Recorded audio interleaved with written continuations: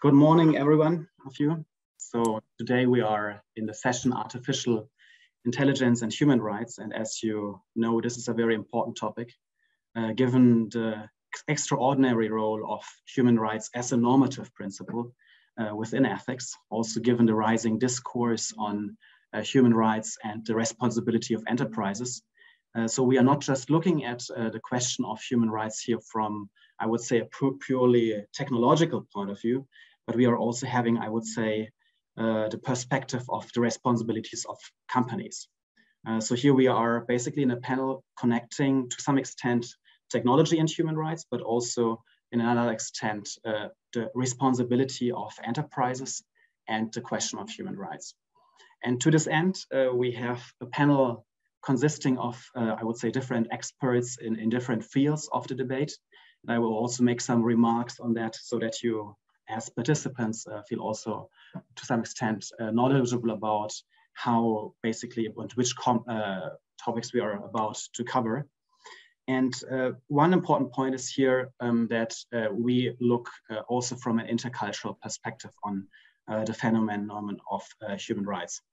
so Lord will later make a presentation about the question of interpreting uh, human rights, but also the ethical implications of artificial intelligence from an African uh, perspective. And I think this is very valuable because given the fact that uh, human rights approaches are traditionally based in the West, it is very important when applying those concepts also to look at traditional ethical approaches from other uh, regions of the world. So we are very uh, thankful, Lord that you will give a presentation on uh, this topic as well. When we look at human rights, we have also very close uh, interrelation uh, between the concept of human rights and equality. And equality is, of course, a major topic, uh, I would say, which is determining also the entire discourse on anti-discrimination and uh, diversity. And one specific field uh, where uh, discrimination is extremely important is, of course, the area of recruiting. so Anna will introduce us to the topic of AI recruiting and the question of human rights. And as we will see, um, there is also not just a discourse about discrimination uh, and uh, recruiting, but also discourse on uh, AI recruiting and uh, data privacy, which is quite important uh, to mention.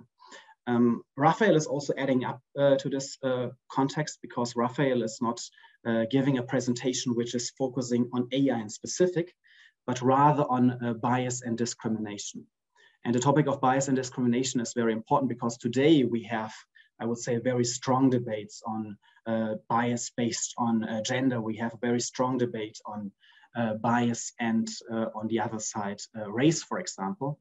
But uh, we tend right now also to overlook traditional biases we might have in specific business sectors.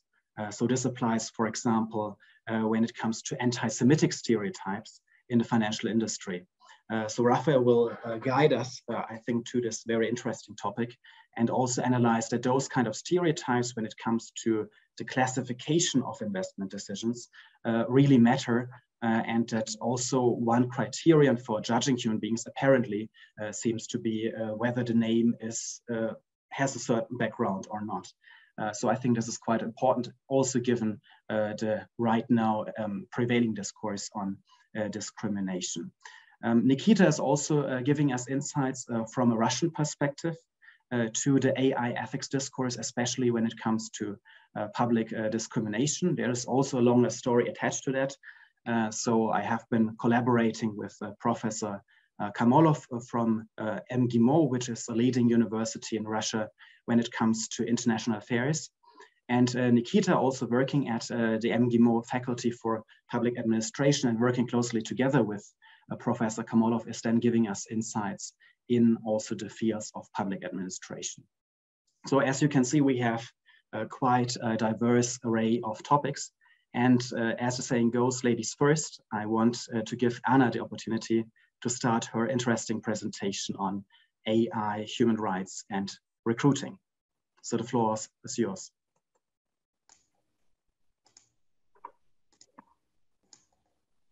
Yes, thanks, Alex, for the introduction.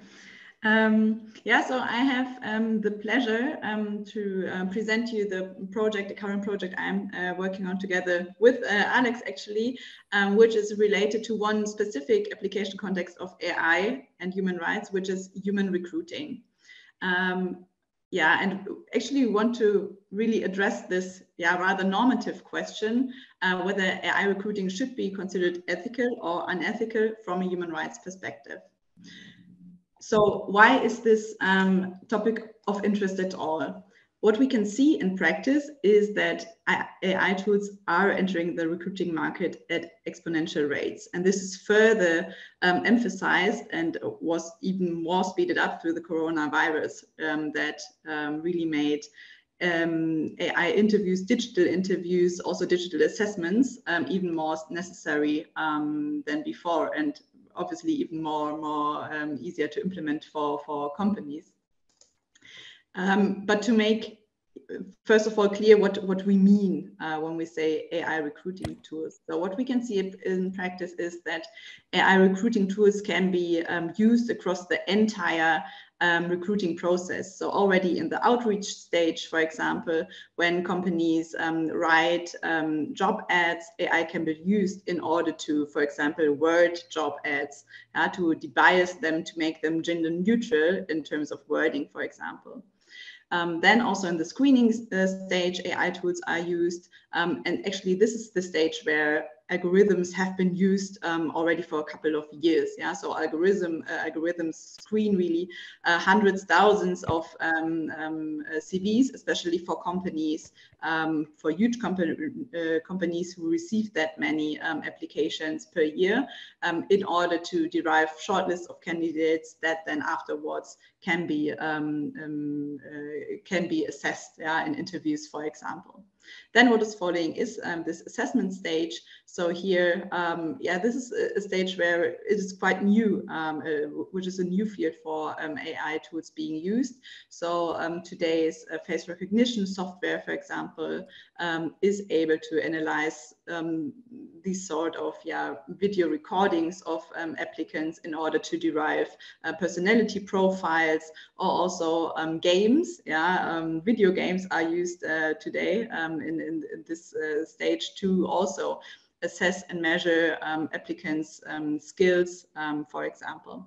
And also the entire facilitation of uh, recruiting and selection um, is um, further enabled through AI um, in, in, a lot of companies, uh, where, for example, chatbots are used to schedule or also to provide applicants with fast feedback loops afterwards uh, just to, to make clear uh, what I refer to when I, when I say um, AI recruiting tools. Um, so actually what we can see is that those kind of tools are really entering the market. However, um, recruiting is an application context that is really controversially discussed due to its ethical implications. And what do I mean with this? Um, recruiting decisions have really high impact on people's life as they impact their job, um, their um, where they live, how much they earn, um, and here it is really the question whether this is ethical to give over this kind of really important decision over uh, to a machine or to an AI when it comes to really an assessment selection um, of a candidate. And probably um, some of you have already heard of um, the, the case at Amazon, I think it was in year 2017, uh, where um, they used um, an uh, AI in the um, selection stage, uh, but it turned out to discriminate against women um, as it was trained uh, based on a really biased data set. So also here's the question, is it really ethical to use these kind of tools, even if it's not like really clear whether they are valid, whether they are not discriminating, um, etc. Um, so what we can see is really kind of a contradiction between a really positive image uh, of AI recruiting in practice. We can we see companies are using those tools and also the providers of those kind of softwares, um, of course, are doing the marketing, are saying uh, these tools are the chance and opportunity to reduce human bias and subjectivity in, in the process. But on the other hand, we have also those kind of ethical concerns. And this contradiction uh, really calls for a normative assessment of this application context AI recruiting. And that's why yeah, with our research, yeah, we want to, to address this gap um, by answering the question, is AI recruiting unethical from a human rights perspective? So providing here really um, a normative perspective. And as a starting point um, for this normative assessment, we, we chose um, human rights due to their international acceptance as a normative concept for human behavior. And um, when we combine human rights and AI recruiting on the other hand, we can see or we are referring to three kind of different discourses um, um, here in this context. So first of all, uh, we have the human rights and business discourse that argues that not only states, but also companies are accountable for human rights and therefore also companies who are um, applying or use, using AI recruiting tools. Then we have a discourse on human rights and recruiting. So this call, discourse kind of defines practices and standards for recruiting, um, referring to yeah, really different rights on the hand, one hand for companies, but on the other hand, uh, their rights for potential employees and what those are, um, I come to, to this in a minute. And lastly, of course, we also we have also the discourse on human rights and AI. And here I'm also referring to the entire AI ethics literature um, and the different uh, ethical principles that were um, established here in order, um, yeah, to, to make sure that AI is used in, in an ethical manner. So what we can see that human rights have definitely implications for AI recruiting. Um, and what those really are, um, we tried yeah, to map down um, in this, this kind of table, coming really from some sort of really main underlying human rights that are meeting yeah, the specific properties of AI. Yeah? And those properties of AI might be challenging yeah, for, for, for those underlying human rights in the recruiting co context. And therefore, um, based on this kind of yeah, challenge or tension, um, we derived certain implications for um, AI recruiting based on human rights. So what are those human rights that are applicable and uh, in the recruiting context? I said, on the one hand, we have some certain rights um, uh, rather on the empl employer side, as for example, the, the, right to property. So employers should have the right to um, information to, to find and identify really the best candidate for a certain position. On the other hand, we have rather the rights on the applicant side, as for example, the right to freedom. So individuals should, right, uh, should have the right to choose their own occupation in the um, selection process, then they should have the right to equality, so meaning the same chances um, for everybody, irrespective of uh, personal attributes.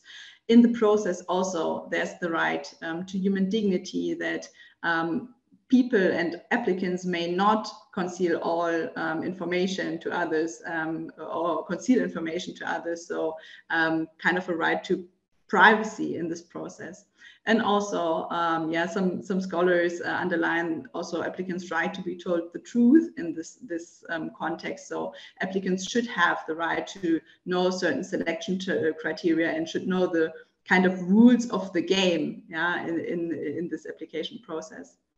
And those yeah kind of underlying human rights they meet yeah as i as i said before those um, yeah kind of new properties or specific properties of ai um, kind of creating this, this kind of tension field. As for example, when we are um, looking at um, the, the topic of privacy, we see that face recognition software has special properties as it um, can access certain private data, for example, whether um, a woman uh, is pregnant or not, whether people may have some disabilities or not.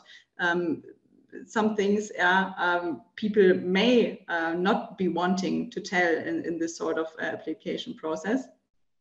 Um, and so we have this tension field, but derived then, yeah, in order to meet really the underlying human rights, um, um AI recruiting should um, uh, also enable, yeah, the, this concept uh, of privacy. Um, I don't want to yeah, go too much into detail into this table, but what you, you can see here on the slide on the right hand side are in this way uh, the kind of five um, ethical principles yeah, we would derive, derive based on um, human rights discourse um, uh, when it comes to the context of recruiting. So AI recruiting tools should be for sure uh, valid tools. Yeah, otherwise it would be even yeah um, not uh, logical at all to use them. But they they should also yeah, fulfill those ethical concepts of autonomy, non-discrimination, uh, privacy, and, and transparency.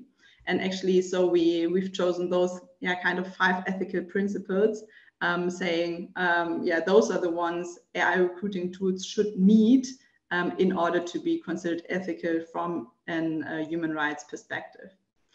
So um, yeah, in a kind of normative assessment in, in, in ethical analysis, we are saying that um, yeah, those five criteria should be meet, uh, should be met.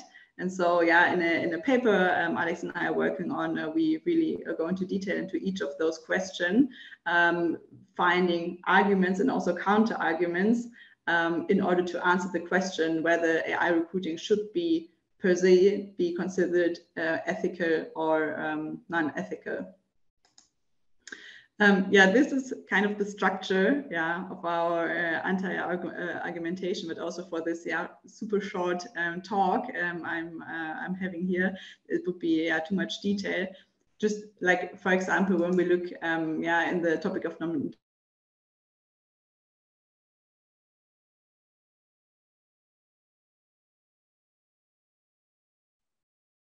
Okay, so I see that Anna's connection interrupted somehow you are also not able to hear her, I guess. Okay, let's wait some couple of minutes because she is still uh, on.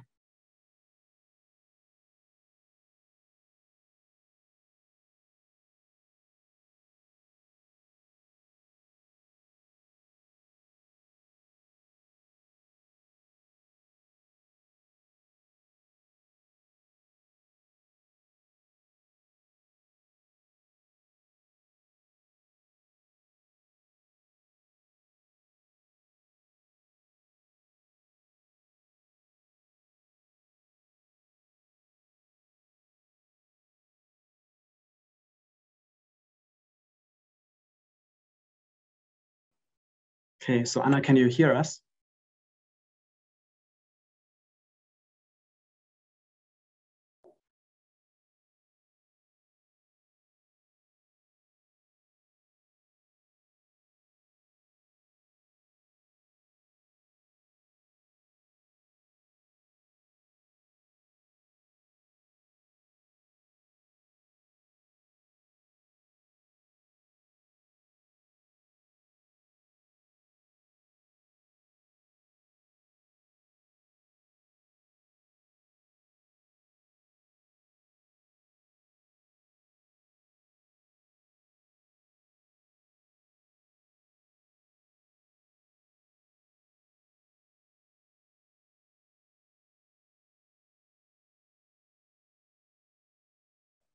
So just wait a minute, I will try to reach her.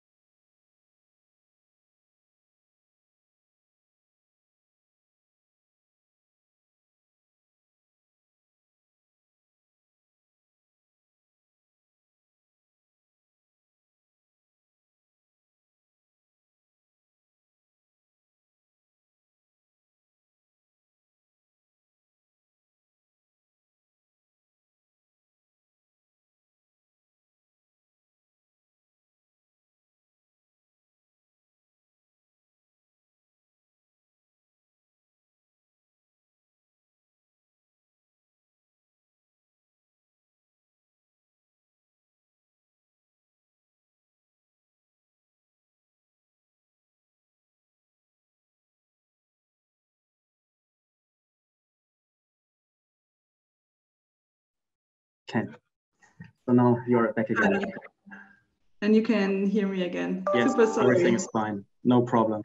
Um, so I make this really short. Yeah, uh, what I just showed you is kind of yeah the argumentation that we um, build up um, in the project we're, we're working on. But really, just uh, to conclude, um, so so based on kind of our, our argumentation, how we see the topic, um, we would argue that AI, AI, recruiting does not per se uh, conflict with with underlying human rights, but rather that it depends really on the conditions under which AI recruiting tools are used, which are for sure challenging. Uh, uh, but in the um, in the work we're doing, we're yeah, deriving concrete implications for and responsibilities of organization to enforce and realize human rights standards in the context of AI recruiting.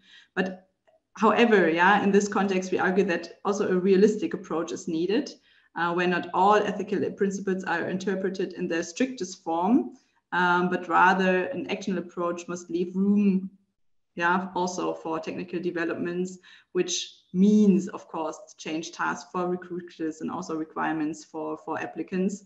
Uh, but yeah, this is this is um, just just to conclude how how how we would see the topic. Um, and yeah, um, I mean, as I, as I said, it's a, it's a project we're currently still working on. And if you have any thoughts on it, um, um, comments, feedback. I'm happy happy to hear that or any questions. Thanks. Well, thank uh, you. Thanks and sorry for the interruption. No problem. Nothing has happened. So thank you very much for your very interesting presentation. So are there questions from the audience concerning Anna's presentation?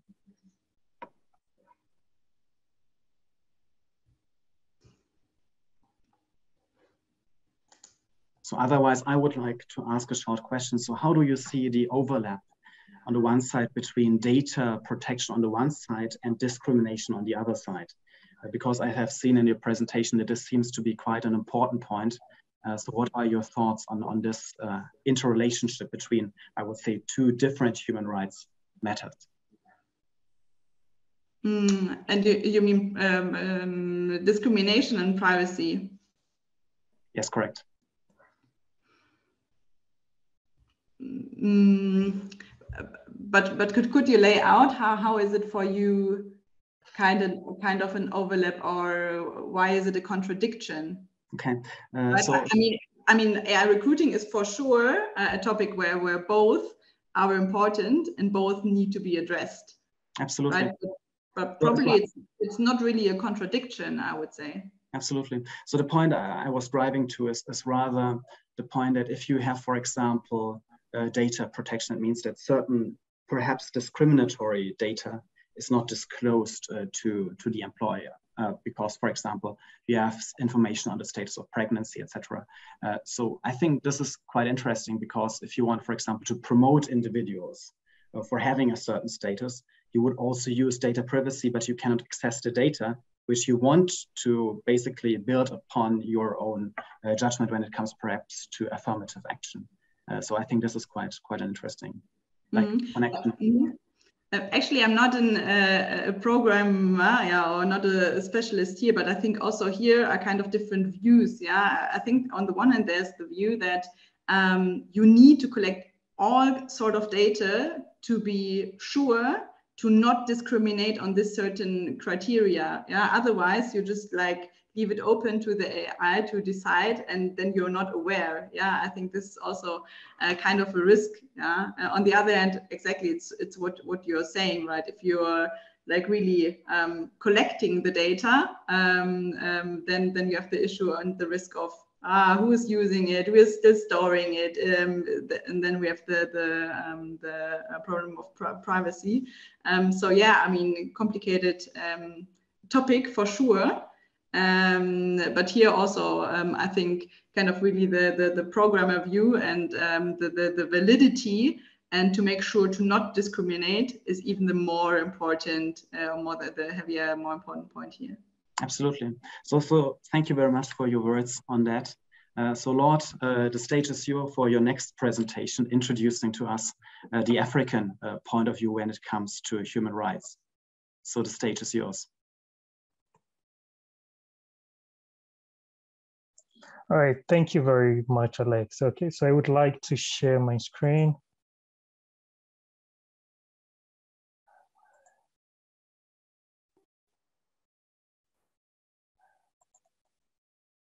share.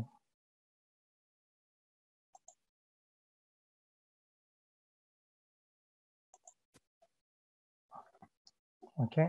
And yeah, it's a yeah,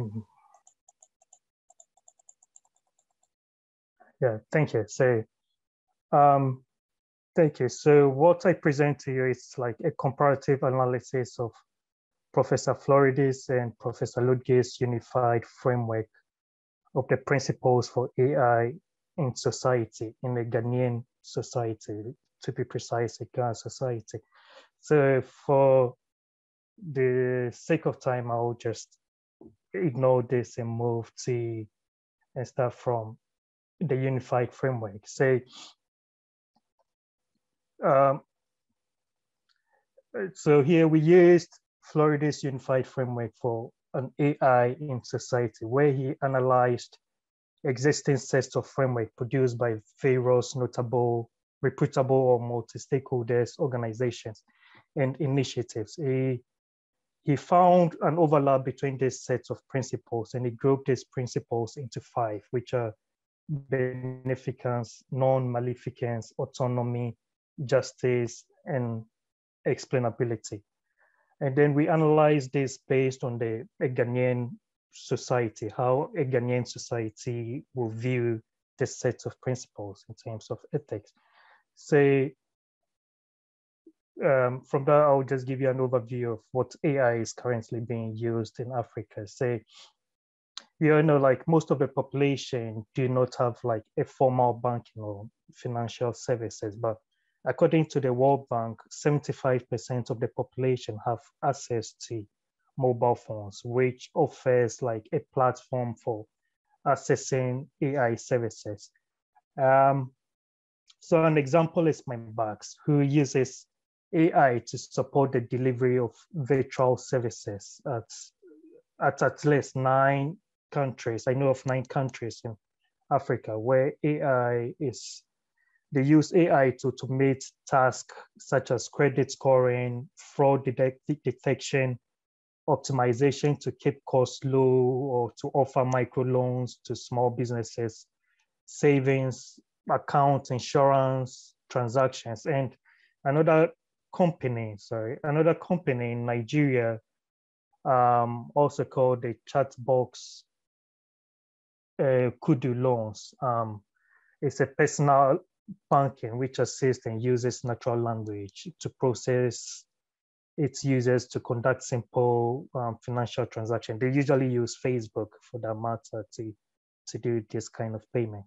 Um, and also, there's also been an increase in entrepreneurship as a result of um, AI. Say, Langboat is a startup in Addis Ababa, Ethiopia, who is developing like a gamified AI-powered language like teaching chatbots. Like the early stage, um, it's an early stage and recently won something, a, a startup competition. And in Pretoria today, EL startup called X Group, which develops digital tools um, on developing in like low cost cell phone connected to otoscope and AI to generate diagnosis of common ear disease. Then it also um, has an influence on foreign direct investments. Like currently, for I think in 2020, Google set up an AI incubator in Ghana.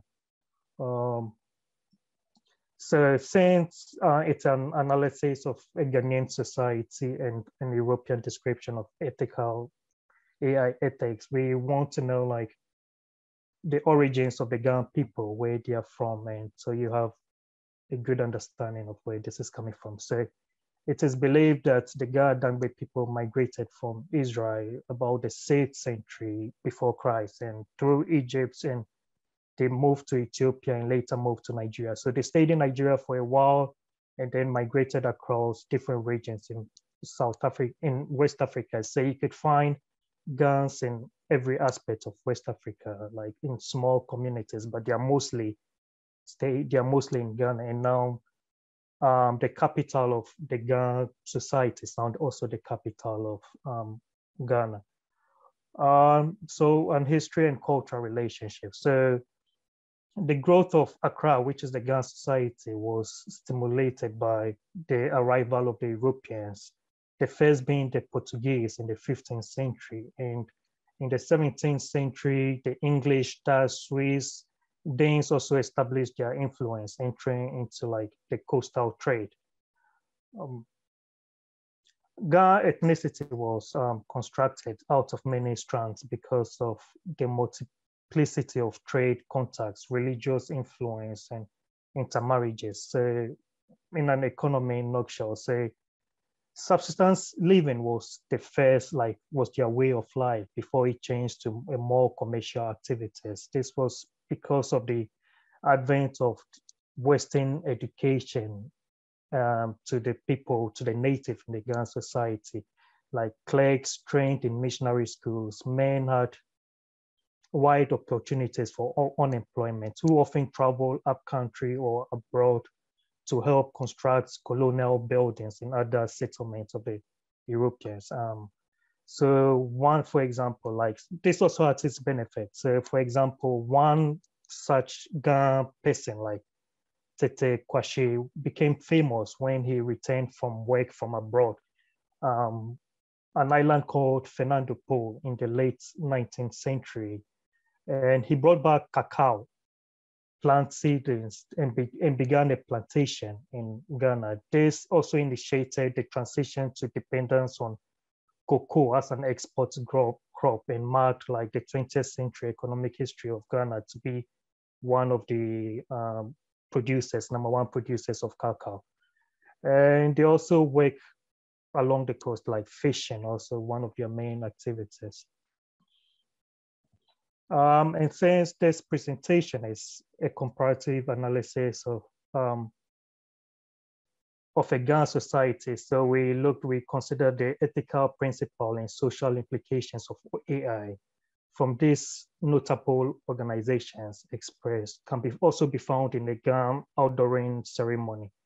Yeah, the Ga outdooring ceremony, which is called the Kpodziemo.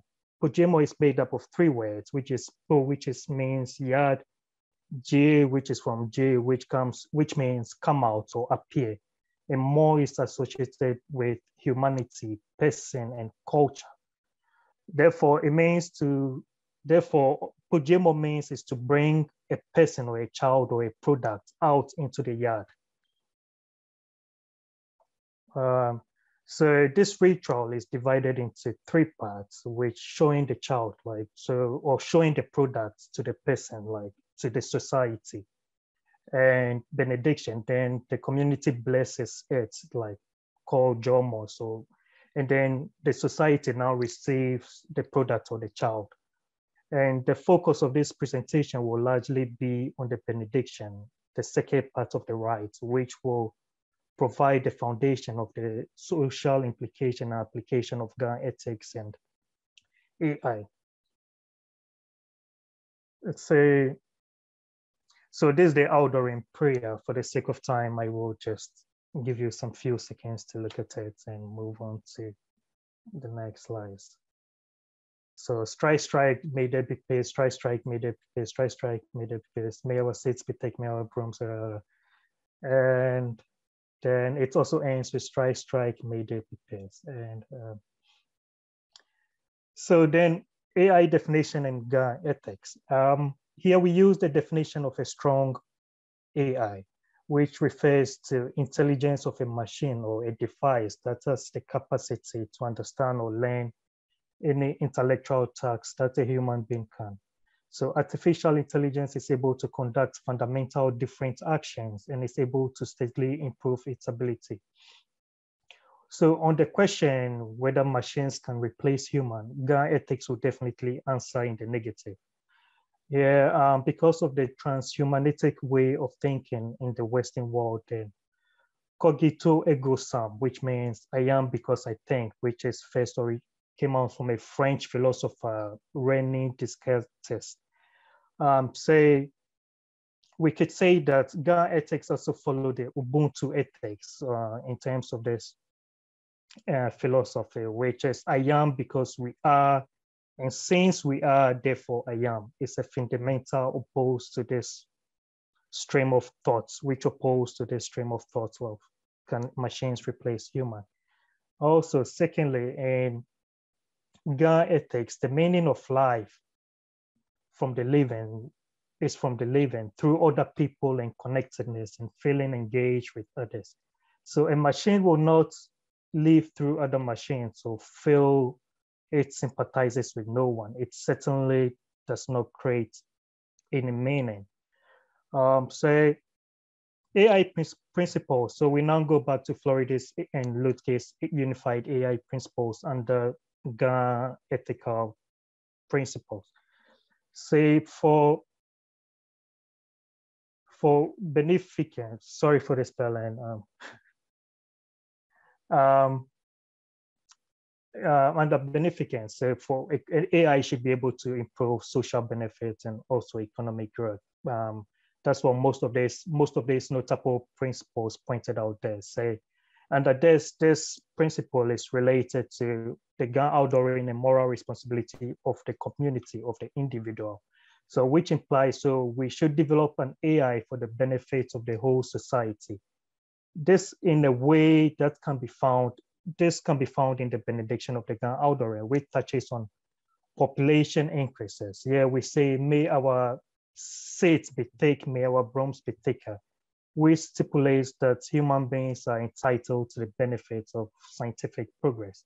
So Another, another case of beneficence is sustainability, as mentioned in Floridi's um, EGE principles of which presents perhaps that AI technology must be in line with the basic preconditions of life on our planet, say, and continue to um, in the preservation of good environment for future generations. Say, the GAN society also touches about this, where it says like a GAN society should seek to ensure the welfare of individual by providing for necessities of food, shelter, clothing. Say, so in the GAN society, the individual not only seeks its own personal interest, but also must also contribute to socialism.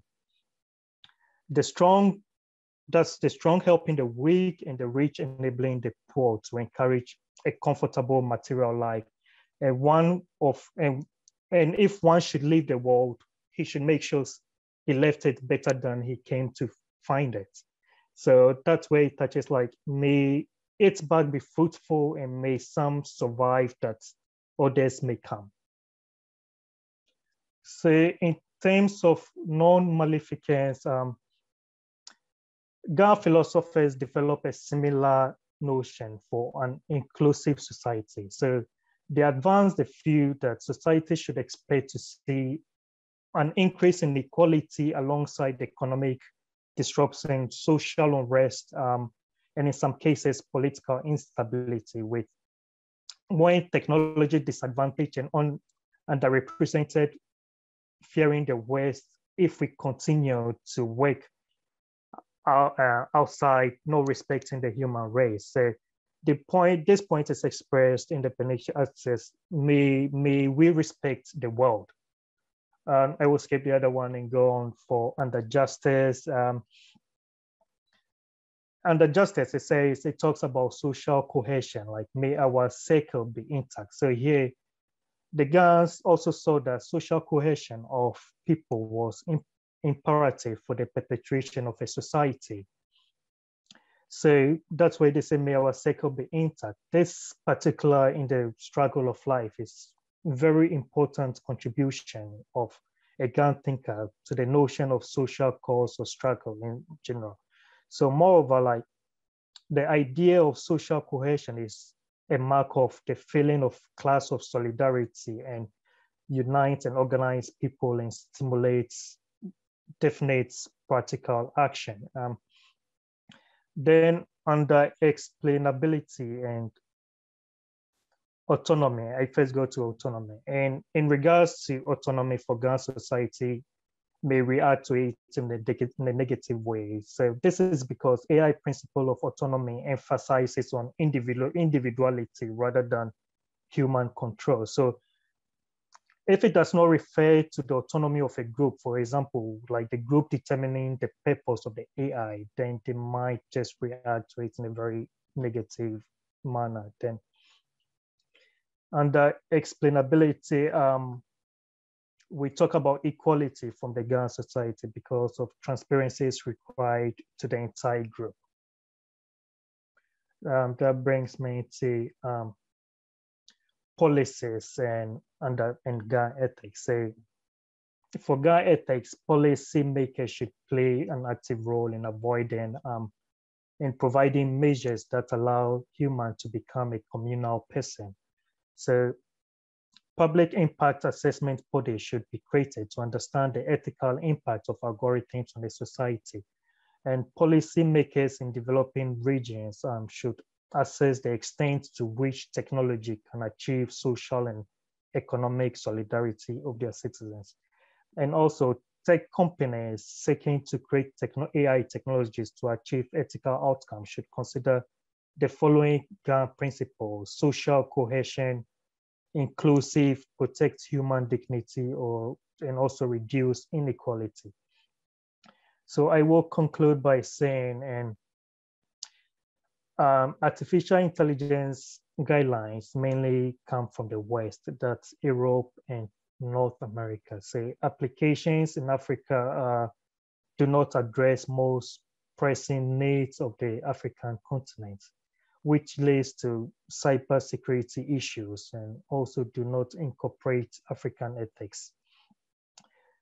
Uh, so what more African ethics have a small role to play in global ethics and philosophy. Therefore, the risks to be overlooked in the discussion of AI ethics. African ethics like Ubuntu and GA ethics offers some also relevant developments in AI, especially in the rel relatedness rather than the individuality, taking responsibility for society as a whole and embodying true inclusiveness. Um, I will end here and I'm happy to, if you could contribute, it's still a work in progress. So any contribution from you will be very appreciated. Thank you. So thank you too, Lord, for this very interesting approach. And I think also the, the context of relatedness is really important to look at and also to discuss about. Uh, unfortunately, we have a lack of time right now. Um, so I think we will prolong, prolong our section until uh, by five minutes. So I will add five minutes to it. Uh, but nevertheless, we need to process fast because the next uh, panelist, uh, Raphael Max, is already waiting for his uh, contribution, which will then focus on anti-Semitic stereotypes. So Raphael, the floor is yours. Yeah, thank you very much, Alex, uh, for inviting me to talk uh, at your panel. Um, uh, it was a huge pleasure for me uh, when you asked me to contribute to this panel uh, with um, a paper that I've done in the, in the last years with um, Matthias Uhl, a paper that was published this year in September in the Journal of Behavioral and Experimental Finance actually focusing more on, an, on another topic, meaning on an analog topic. Uh, I would like to shed here the light on the normative discourse in financial markets and uh, show you a bias that we found because I think this is also useful for the um, for the uh, artificial intelligence discourse as we um, as we see then the, the advantages of artificial intelligence that maybe could rule out uh, such biases that actually we, uh, without artificial intelligence, just with normal intelligence, seem to have, uh, especially in Germany. We know that artificial intelligence can uh, generate these biases based on a wide variety of factors. We have also a, a panel this afternoon just dedicated to biases. Artificial intelligence is already having a major effect on financial markets and promises uh, many economic and moral benefits. We've also uh, written a paper on this, uh, me and Alex, last uh, year. Uh, but in this uh, study, I want to describe a bias that is related to financial markets and religion. And here's also linked to um, human rights. We all know the Universal Declaration on Human Rights um, when it talks about the right not to be discriminated on the basis of uh, any um, distinction that doesn't that is not necessary for for the distinction let's say some something as uh, race color sex language uh, or the religion I mean, of course, it can make sense to discriminate in specific aspects uh, with respect to the age or something like this. And in, in, in, many constitutions, we, for instance, can only be uh, elected to, become president if we have a specific age. But usually, we are not uh, discriminated uh, in the Western world with respect to our religion. And this, this paper actually focused on the question whether decisions in financial markets that we are um, making should depend, or the more evaluation of these decisions should depend on the, um, on the religion uh, that we have.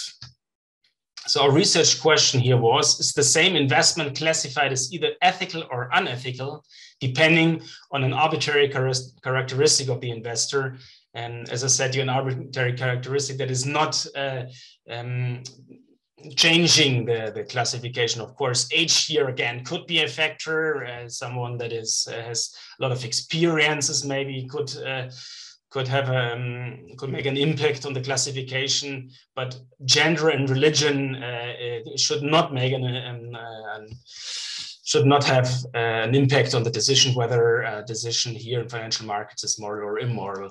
If you buy a specific stock, a derivative in a specific sec, um, a second can be uh, classified as ethical or unethical, but it should not change if it's done by a Muslim, a Christian, a Jew, or an atheist. So this was our research question, and then we focused here on uh, on on Jewish uh, on Jewish um, people, especially in Germany. We all know the the story, and we said we expected investors uh, with Jewish names, and then I can say some sentences about the names. When uh, there is a possibility in the German language to find out whether someone could be Jewish, of course, it's just an indicator, it's not a determinant. Whether they face more ethical rejection than those with non-Jewish names or local names, let's say. Presumption is based on a century-old accusation against Jewish I do not have to elaborate on this point. It's uh, clear. Jews have always been accused of unethical behavior in connection with financial decisions. Let's think about the church rulings by the popes in the 14th, 15th, century, uh, 16th century, or the works uh, of literature when we think uh, about the merchant of uh, Venice and so on.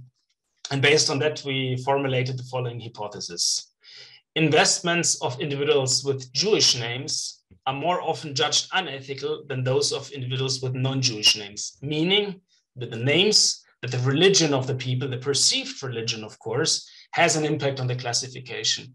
The point is that in, in, in Germany during the Enlightenment period, in Prussia, uh, many people wanted to give the same rights to everybody uh, with uh, and exactly in the, in the, human rights discourse to say that the religion should not exactly discriminate you. And uh, as Jewish usually in Germany did not have a surname until that point, they said that everybody, every citizens need a surname to have the same rights.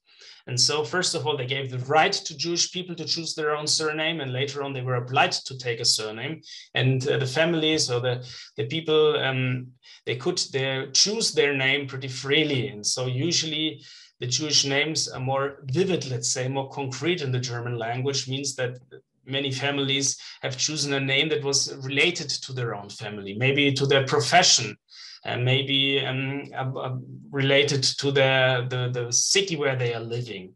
I mean, if you think about uh, the family Goldman, that could be or I mean, it is in fact like this, but it could be an indicator that they were German Jewish, a family that traded gold. If you think about a family that had a, a small shop in Frankfurt with a small red seal on their store, they called their uh, family Red Seal, Rothschild. And they were so free to choose their own surname. And th that's the way usually to see in German. It, it, the, the surname could be an indicator for the religion, nothing more than an indicator, of course, throughout the centuries um, and everything is mixing a bit more up, but that could be an indicator. So we've um, measured this uh, with a between subject vignette and describing here an investment decision. And here you see um, name written in capital letters mean here we vary the names. I mean, I would read it out uh, just, uh, let's say, with my own name in this uh, minute. Raphael was born in Munich in 1974. The 45 year old works as an associate in a Munich uh, IT company and so on. Um, here, Raphael's selection of shares focused on an automobile manufacturer or pharmaceutical companies and commodity companies. He will observe this, the shares performance on the smartphone and try to react to strong market movements. Means meaning all these things, of course, haven't changed through all the different vignettes, just the names were um, changed. Nothing else, of course, here you can see uh, already that we were triggering a bit, let's say, the, the moral debate in financial markets. We're, um, we're um, investing in commodity companies, in uh, pharmaceutical companies, we, um, we, track the development on the smartphones. That could already be some framing uh, effects that of course here we're uh, talking about someone that is maybe a bit more into trading that usually at least in uh, pre-studies uh, usually they are already let's say um, uh, labeled as more uh, less moral um, than someone that is doing calm long-term uh, investment. And later on, we just ask a simple question Is uh, this person acting moral reprehensible? Is he acting moral, immoral? Nothing else. A Likert scale from strongly disagree to agree. And with this, we made a so called, let's say, ethical uh, scale. Um, if people said they strongly disagree, then we said, okay, this is a, a higher level of um, uh, immorality score. Let's put it like this.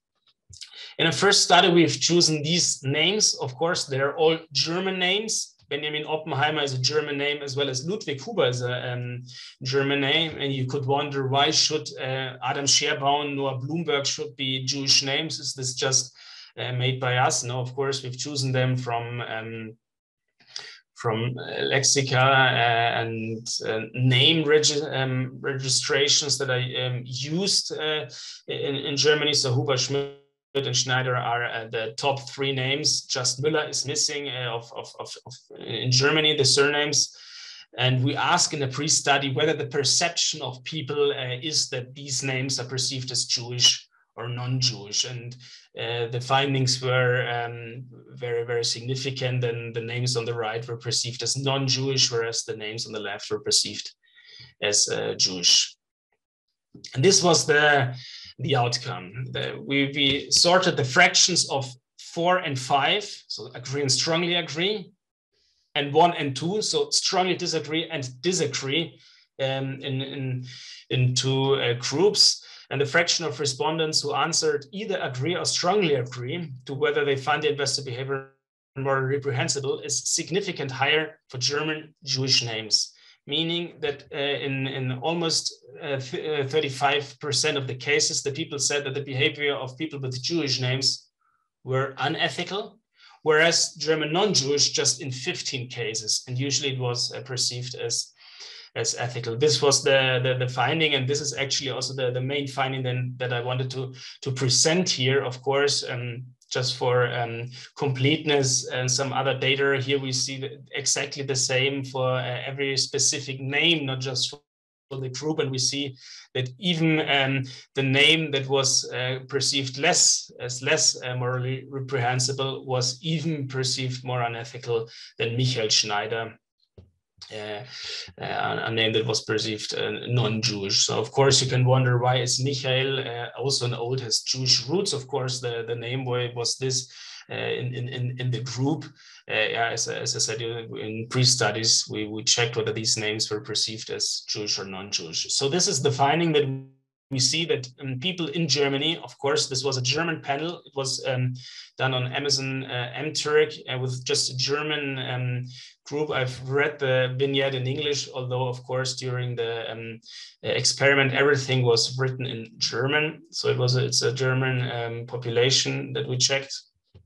And we see that this is actually stable uh, throughout the names in a control study, or we made several control studies. I'd like just to shed the light on these. Uh, uh, on this uh, study here right now, we checked also um, other names, whether it's just for German Jewish names or non-Jewish names, because a review in the journal said that maybe it could depend on on familiarity bias. So just names that were that could be, let's say, less fam um, familiar to you could already trigger this effect. Um, or whether there are other effects. And so we said, okay, I mean, even a British name or an Italian name in this case should then be uh, less familiar and should be, let's say, the, the classical outgroup bias. And we checked for that, and the um, results were uh, let's put it like this. I think they were shocking because the Italian names, they were like uh, Francesco Rossi, Alessandro Russo, and Leonardo Ferrari. And the British names were Andrew Smith, David Taylor, and Mark Jones. So here again, just the, the, the three um, most common names that a 45 year old uh, person could have were uh, used uh, in, in, in, this panel.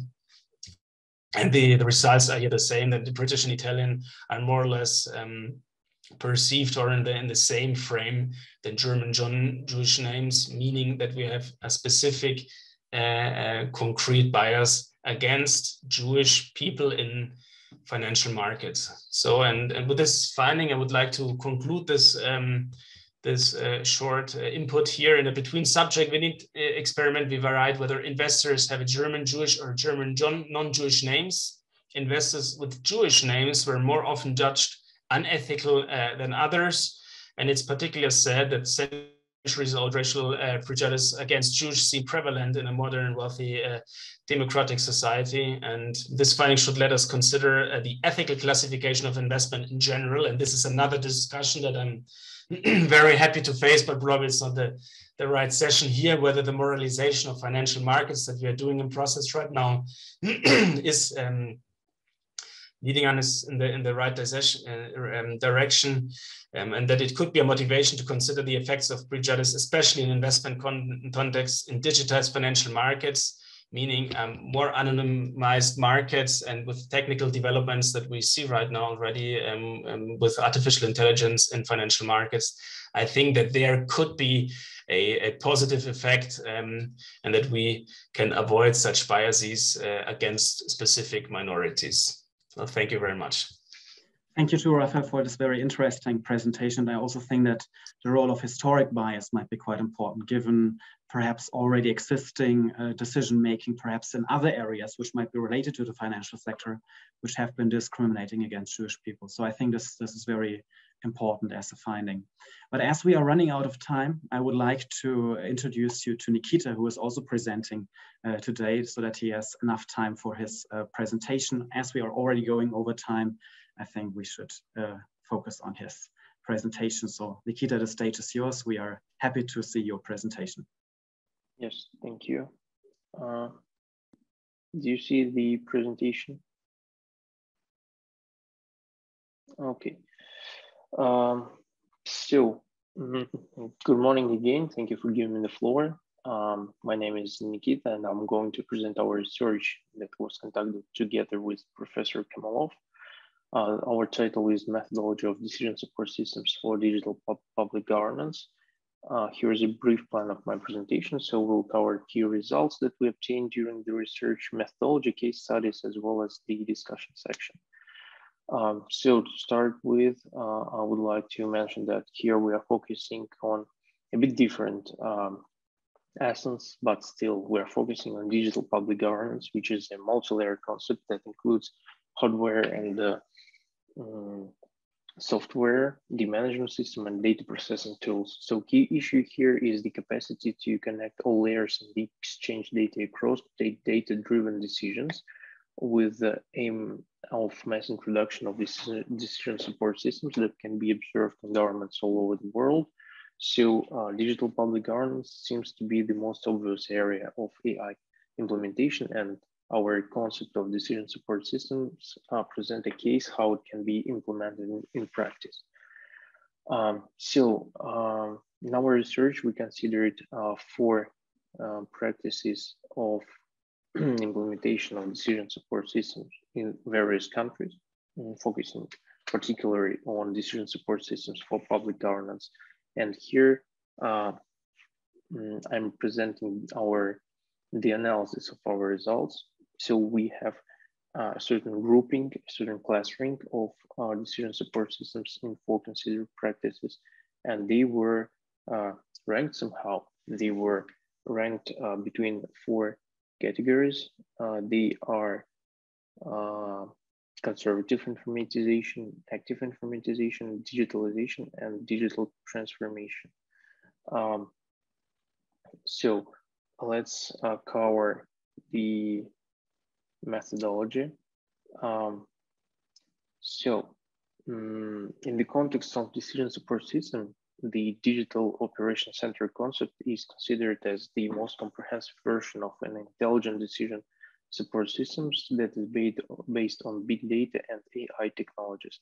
It should be noted that such systems should include not only means of collecting and analyzing information, tools for forecasting and mm, modeling development and visual presentation of results in a form of informative for both uh, decision makers and citizens, but also assume somehow automation of the process of providing a range of services responding to the emergencies th and threats based on adaptability and machine learning um, technologies.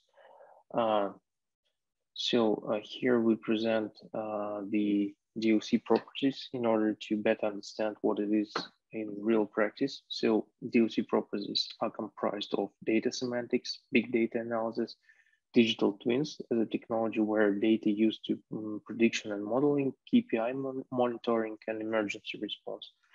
Uh, public access, interdisciplinary competence, AI services, which ensure that DOC works in the context of tasks of digital public governance, and G2A interface, uh, which is government tool, which means that DOC is an infrastructural tool that um, is used for various interaction types in the interest of digital public governance. So uh, practice shows that there are currently four main areas of DOC implementation digital public governance. They are presented in a diagram. Uh, however, such a functional division is um, does not mean that DOC function only in a specific area. There are cases when they perform tasks of all four areas. Uh, and then now um, let's go further to the case studies. So um, there are now four countries under the close consideration as global best practices of DOC implementation. They are South Korea, United States, and Estonia. Uh, these particular countries were chosen because they were rank ranked highest in uh, the United Nations e-participation index. And uh, now let's focus briefly, just briefly on each case. So uh, in case of Korea, South Korea, particularly in Seoul, DOC takes a form of smart city platform.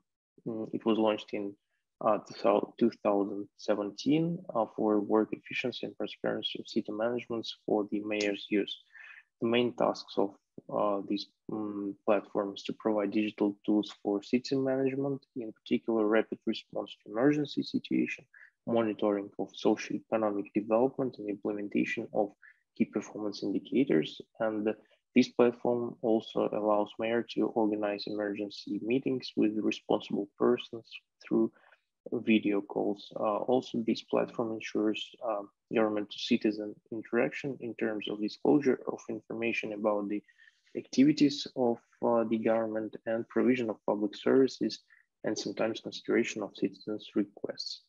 Uh, considering the practice uh, of United States, it was decided to focus on New York. So New York was the first American city to adopt uh, AI and digital technologies in terms of public governance.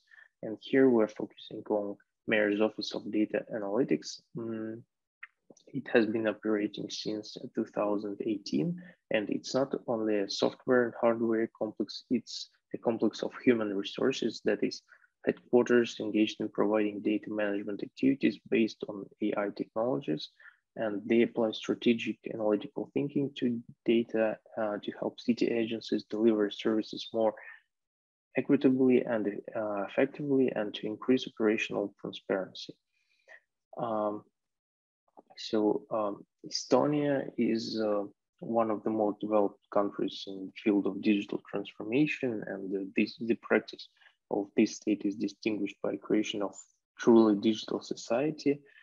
So the practice of implementing the digital um, operation center uh, here is um, um, will be considered in the framework of an initiative that is called e-Estonia. It's uh, a set of measures for the introduction of um, ICT and digital technologies in public governance and other areas of state development. So within these, the framework of DOC concept, it's uh, necessary to note that Um, there is a program, e-governance, which is a strategic choice for Estonia that aims to improve competitiveness of the country and increase well-being of citizens. The aim is to keep the government working seamlessly, uh, and it is supported um, by a number of initiatives such as Government Cloud, Data Embassy, iVoting, and e-Cabinet.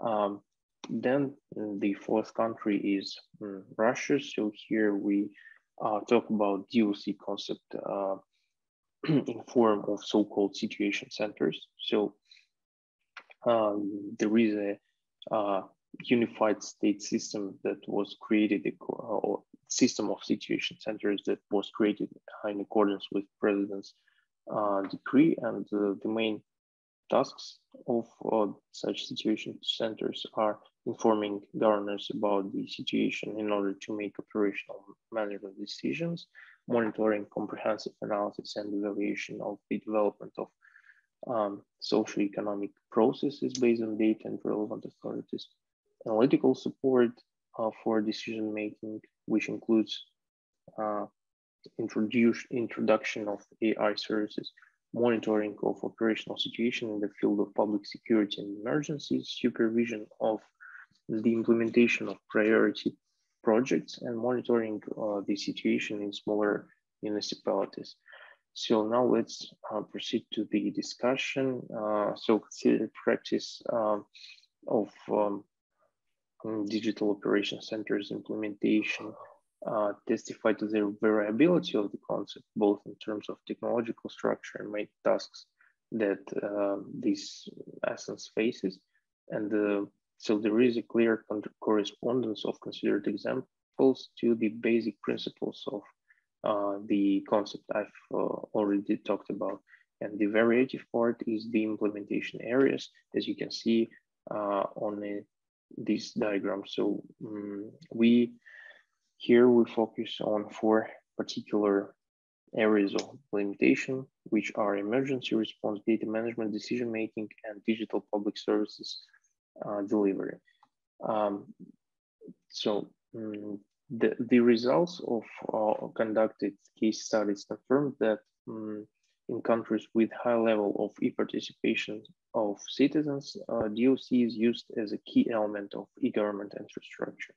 And uh, there is a historical chronology that is traced in the main areas of DOC implementation that reflects various stages of development of the concept in accordance with the requirements for the development of entire system of public governance.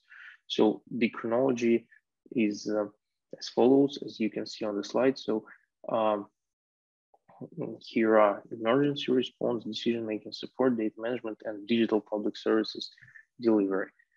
Um, so in conclusion, it's important to note that the given chronology of uh, DOC evolution is not a unified pattern. And in theory, it's assumed that um, DOC follows this chronology, but it's necessary to take into account the peculiarities of public governance in each particular case, as well as the goals and objectives that are set for the DOC. So um, that's the end of my presentation. Thank you for your attention. Hope that it was interesting for you and uh, it would be my pleasure to answer questions that have arisen regarding our research during my presentation. Well, thank you very much, Nikita, for this very interesting presentation because you also show how to utilize uh, digital technologies um, for human rights. So I think this is a very important point.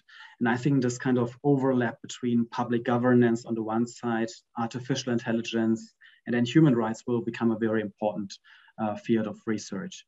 Uh, so thank you very much. And also thank, thank you. give my thanks to Professor Kamolov for uh, also indirectly participating in this sense in our meeting. Um, I think right now we are really running out of time and we are already over time in fact. Um, so I think um, if there are some questions uh, from uh, the audience, I think they could address it, I think, to all participants. Uh, so would ask, um, are there some questions uh, for one specific presentation or are there general uh, remarks on uh, AI and human rights uh, within our uh, session?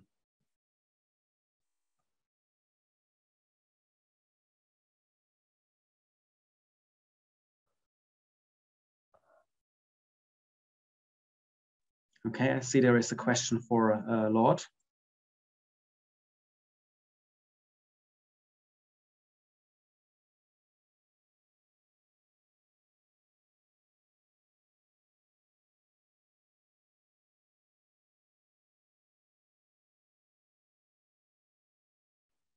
So it might be that uh, Lord is not here anymore. I'm here, Alex. Okay. um, um, okay, so the question reads, Hi, Lord, thank you so much for this very inspiring presentation. What do you think of the new UNESCO Global Recommendation on AI ethics from this perspective of Africa? Um, yeah, um, for in my opinion, I've not really had the time to really study the new UNESCO Global Recommendation. Um, I've, I've seen the headlines and I think oh, it's it's okay, um, but it doesn't. Africa is made up of different societies. Um, just in Ghana alone, we have about 20 different tribes, and they all have their um, ethical principles or ethical way of life, or a, a way of life. For say, I um I won't say it covers everything about Africa, but it's it's it's it's a start. It's a good start. Yeah, thank you. Hope I answered your question.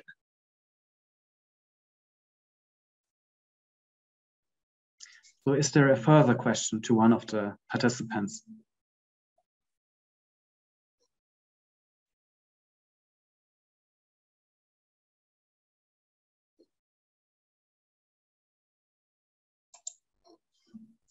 Okay, so is there a question of one of the participants to another participant?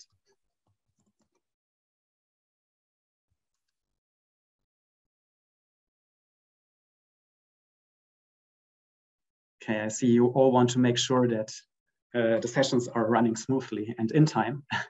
uh, so thank you for all your uh, input. I think it was really a great panel and I think it was really interesting to look at the different perspectives from uh, AI and human rights because we see that public administration, especially in Nikita's uh, presentation, we have seen that public administration is really a growing field. And still, I think in the AI discourse is very much uh, dominated by the idea that we have private companies which are using artificial intelligence in a specific uh, way. But I think also the idea of public administration is quite important and uh, tends to be overlooked. So I think there is much potential for further research explicitly in this uh, direction. Also, thank you, Raphael, for your presentation uh, when it comes to uh, stereotypes on anti-Semitism, which are still prevailing in our societies and I think uh, it is very important not just to look at, uh, I would say, the current discourse we have right now on specific aspects of discrimination, but to have a broader perspective as does might appear specifically, I would say, in areas of finance, uh, perhaps also in areas of health, etc. So I think this might be a bigger topic uh, to look at.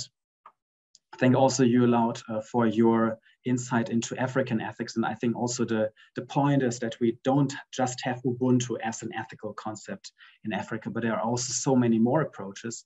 It's really valuable, as you pointed out right now in your answer to the UNESCO approach. So I think there is also much more to look and also future research collaboration. And thank you also, Anna, uh, for your presentation on recruiting NNI, which is such an important field. I think not just in the private sector, but also in the public sector, uh, where it is much more related than to human rights, also to citizen rights, uh, where we, I think we'll have a big uh, discussion still ongoing.